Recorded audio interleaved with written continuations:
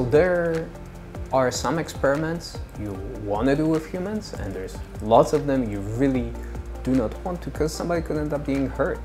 So for example, nobody is measuring the core temperature increase of somebody getting a heat stroke. With the thermal mannequin, we can actually simulate the conditions and see how fast that core temperature is.